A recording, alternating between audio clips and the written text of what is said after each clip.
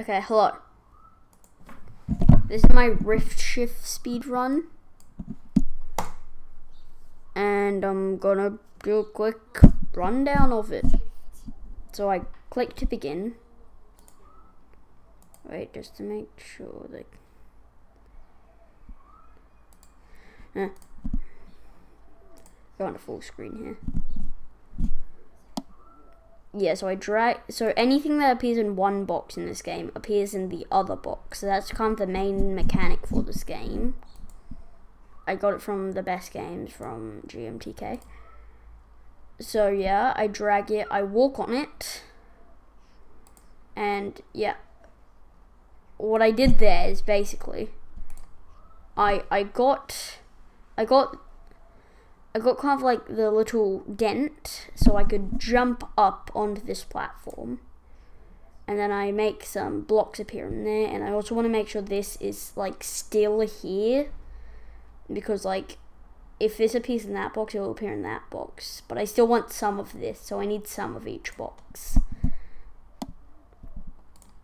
Here I need I pull that down so it doesn't like kill me since that's happened before and I drag that up so I can jump on the platform obviously. But then I want to get this pillar out of view so so that I can like so I can walk there and there won't be a giant pillar blocking my way.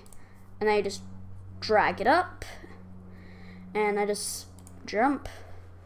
Okay now you see these two translucent buttons here I can use those as my normal player. So basically, I drag the box so I can get the blue button and the red button, then I just leave. This is my favorite level of the entire game.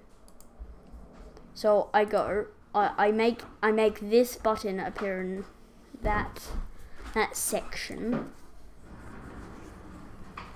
And I drag it over to the door so I can walk through it while walking through the door and then yeah so i am i'm on the translucent button and i go through the door because i can just drag that box. Now this doesn't look like it could block it because it's not a full block but it actually can. Apparently anything's a full block in this game. So yeah i just just block the turrets. And I drag that down because but if I drag that down too much this will become so I have to drag this down so yeah, it's a lot of dragging involved. So I'm trying to make sure the turret doesn't hit me. And then I drag it up, get on the platform, and yes. And yeah, that's the whole speed run.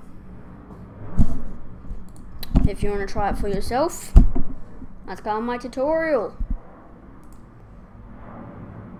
That's why. I, oh, wait, I'll try and do it right now.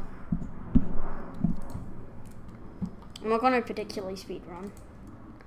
But yeah, so I drop it in. Crap. Okay, yeah, I haven't done that in a while. Bye. Oh yeah, by the way, if you would like speedrun tutorials like this, or just speedrun tutorials like speedrun tutorials, either works.